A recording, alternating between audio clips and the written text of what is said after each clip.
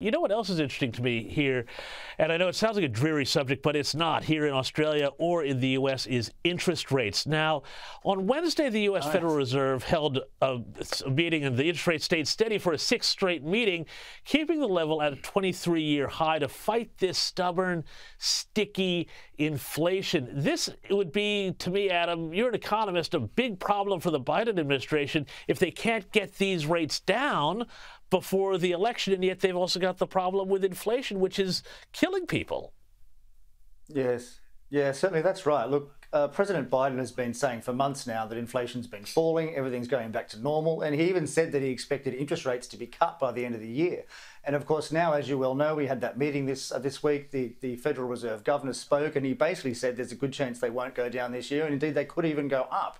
Uh, but I mean, for me, this you know this gets to the whole point that, that you know the government economists, the central bank economists, they really have no idea about the future path of the economy. I mean, you remember a few years ago they said that all their money printing would not lead to inflation, and of course it led to the biggest inflation in, in you know 30, 40 years, 40 years. Uh, you know that's in Australia too, uh, which yeah. has caused huge damage. And of course, then you know, more recently they said, oh, it's all right, it's all going back to zero, and of course it's not. So so they really have no idea. Uh, you know, they're just they're just completely guessing, and and you know for ordinary people that's you know that's not very good news. You know, there's there's no security about the future for their own finances. Well, and I mean, you know, our Australian viewers here will also be watching this very closely too, because the talk I'm hearing, and I'd love to hear your thoughts on that, is that the Australian um, Reserve Bank is going to have to follow essentially the American uh, bank's lead on this. So if rates don't come down there, they're not coming down here. And we've also got an election coming up either later this year or the start of next year.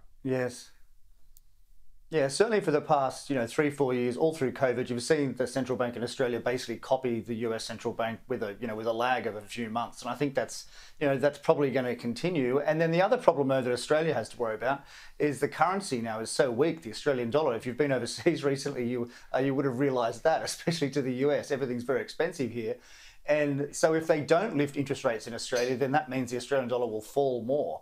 Uh, and that's, you know, probably something that they don't want in the long run.